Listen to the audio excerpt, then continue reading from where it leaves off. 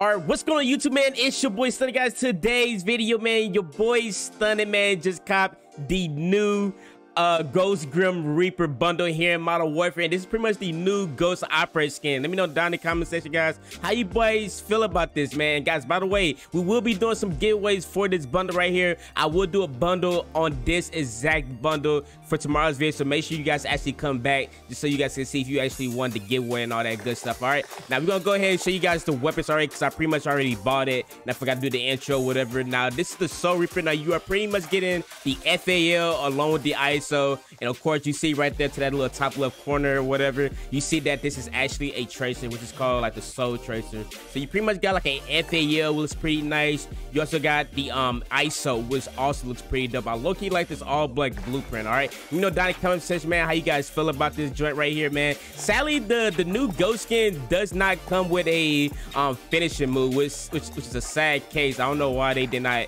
give my man's like a finishing move, but whatever, guys. Let's go ahead and hop in some custom games real quick. Let me catch you guys in the next one. Let's go.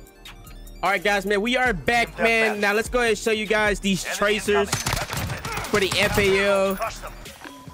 It, looks pretty nice. I'm not gonna lie to you guys. Now, this, this is the first um trace that the FAL is getting. It looks pretty nice, man. Let me know down in the comment section what you guys feel about that. Requesting recon In the comment section box, bruh.